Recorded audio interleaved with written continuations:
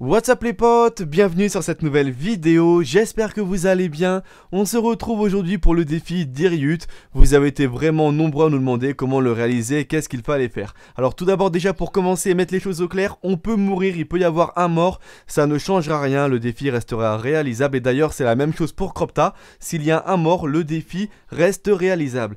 Ici ce qu'il va falloir faire c'est tout simplement cleaner le plus rapidement la salle dans un premier temps. Donc les acolytes, les chevaliers, vraiment tous les ennemis. Donc je vous conseille fortement de vous équiper des épées. Nous on était très nombreux à avoir l'épée. Il faut savoir qu'également il faut faire monter à chaque fois une personne dans chaque tour, donc à gauche et à droite, puisqu'à chaque fois il y a un chevalier qui va se trouver dans celle-ci, et donc il va falloir le tuer bien évidemment.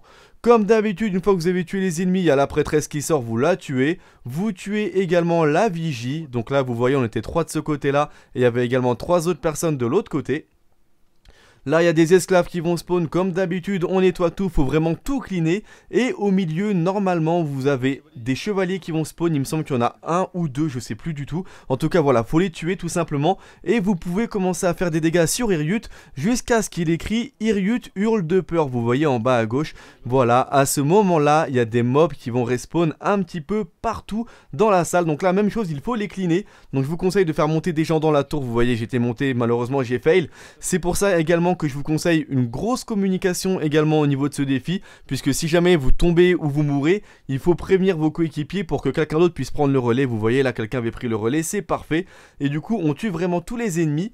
Une fois que tous les ennemis sont tués, donc attention, il y a également deux ogres qui spawnent, hein, un à gauche, un à droite, faut évidemment les tuer vous allez avoir un porteur d'épée qui va spawner, vous voyez, donc par la porte, hein, à chaque fois il spawn au niveau de Cropta, et eh bien là, vous allez avoir directement un porteur d'épée qui va spawn, et là, à ce moment-là, il faut que des, une des personnes prenne l'épée tout simplement et aille tuer Iriut avec l'épée, et vous voyez, on valide le défi, donc on remporte euh, un nouvel emblème, et vous avez également une arme exotique, donc j'ai eu la rébellion de la bise, ça fait plaisir en solaire, voilà.